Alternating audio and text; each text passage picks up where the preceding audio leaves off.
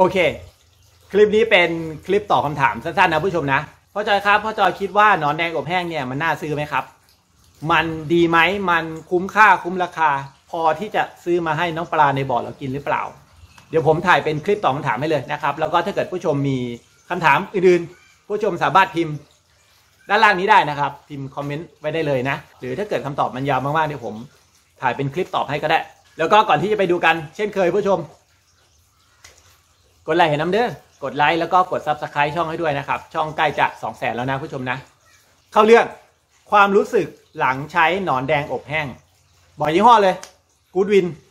เฮ้ยมันเจ๋งว่ะมันมันตอบโจทย์ แต่คำว่าตอบโจทย์เนี่ยคือมันตอบโจทย์ ตอบโจทย์ตัวผมนะ มันตอบโจทย์การเลี้ยงปลาของผม ส่วนจะตอบโจทย์ผู้ชมหรือเปล่า เดี๋ยวผู้ชมไปดูในรายละเอียดกันหนึ่งเลย ปลาชอบกิน จะปลาคาร์ฟปลาทอง ปลากัด ปลาหมอสีปลา เยอะแยะ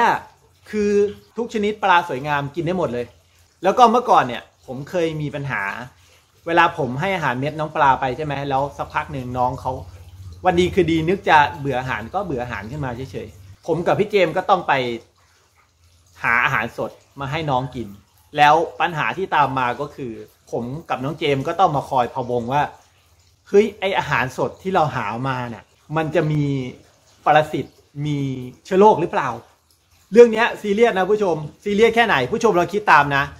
ถ้าปรสิตหรือเชื้อโรคได้ลงไปในบ่อแล้ว รักษากันยาวนะผู้ชม ถ้าโชคดีหน่อยรักษาหาย ก็อาจจะเสียแค่เวลาเสียแค่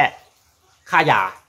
แต่ถ้าเกิดมันโชคร้ายล่ะ ถ้าเกิดมันรักษาไม่ได้ล่ะ เสียหายกันยกบ่อเลยนะครับ พอมาใช้หนอนแดงอบแห้งเนี่ยโอเค ปัญหาจบ ที่สำคัญคือปลากินดี อาจจะเป็นเพราะว่า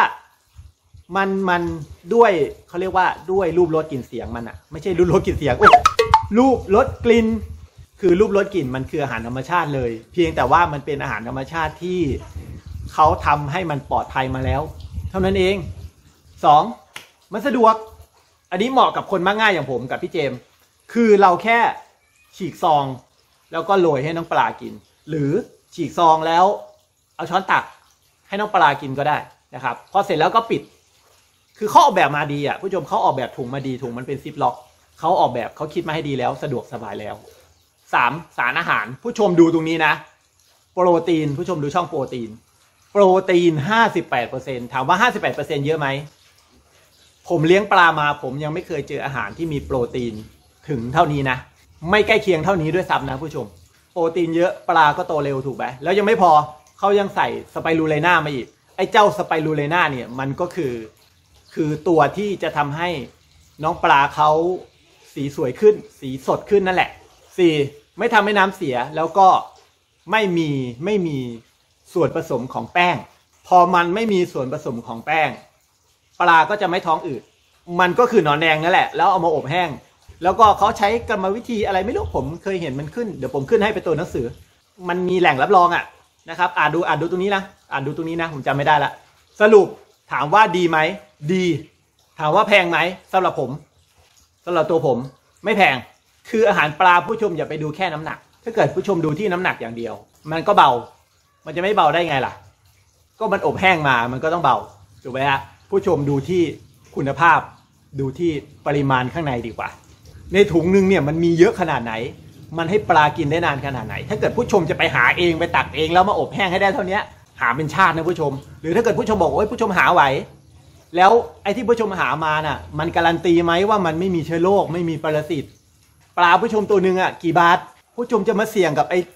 อาหารปลานิดๆหน่อยๆแล้วเขาทำเป็นถุงสำเร็จรูปมาให้แล้วอะ เปิดถุงให้ปลากิน เสร็จแล้วก็ปิดคืน ถุงมันเป็นซิปล็อก มันเป็นสุญญากาศเก็บไว้ได้นานโคตร ผมว่ามันไม่ได้แพงอะไรนะ คนที่ซื้อเขาก็ซื้อกันต่อเนื่อง คนที่ซื้อเขาไม่ได้บ่นหรอก คนที่ติคนที่บ่นน่ะ ไม่เคยได้ซื้อทวนกันอีกครั้งนะครับ ผมไม่ใช่ผู้เชี่ยวชาญด้านการเลี้ยงปลาใดๆทั้งสิ้นนะ ผมเป็นแค่พ่อธรรมดาคนหนึ่งที่